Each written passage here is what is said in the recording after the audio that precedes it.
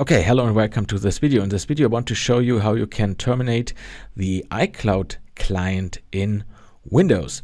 So you might ask yourself why I'm doing a tutorial how to terminate iCloud. Well, usually you click on an icon here in the system tray uh, right click on it and you have this exit option here. For example in OneDrive it is a little bit hidden but um, it's an available option. However I did not find it for iCloud. If I click on iCloud I will only get this option this small window here whether I click with the left or right mouse button.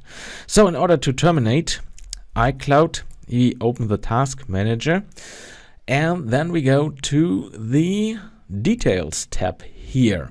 And this will list all the running processes in Windows and somewhere in here we find this service here, iCloud Services. And all we need to do now is right click on it and hit exit task, then end the process. And now iCloud is terminated. If we go with the mouse over the icon here, you can see it will disappear. In order to remove iCloud completely, we go to the settings, then we click here on apps, installed apps, and in this list we look for iCloud. We can type it in here. Here we go. We have two iCloud options here, iCloud and iCloud Outlook.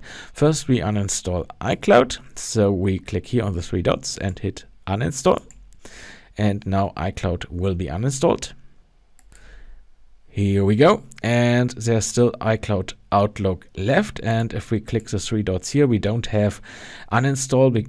It's disabled, but we can click modify here. This will open this installer window here. And we can select move here in order to remove iCloud. And well, that's it.